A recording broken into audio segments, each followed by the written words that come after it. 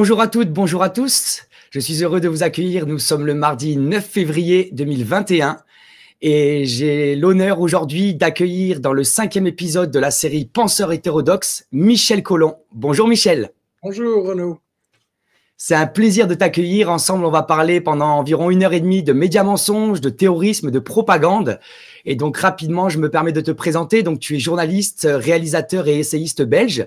Tu es l'auteur d'une douzaine d'ouvrages au cours des 30 dernières années.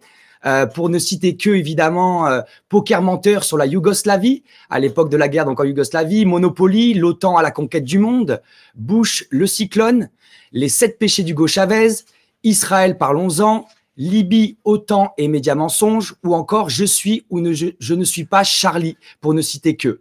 Tu es aussi à l'origine d'un excellent média indépendant qui s'appelle Investigation, qui est né en 2004 et qui aborde des questions qui vont de la géopolitique aux médias, en passant par les luttes sociales et le capitalisme.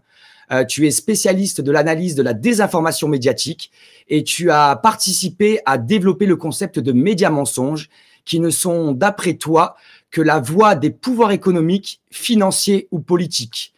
Je rappelle que la série Penseur hétérodoxe a la volonté de valoriser des regards divergents sur notre monde contemporain.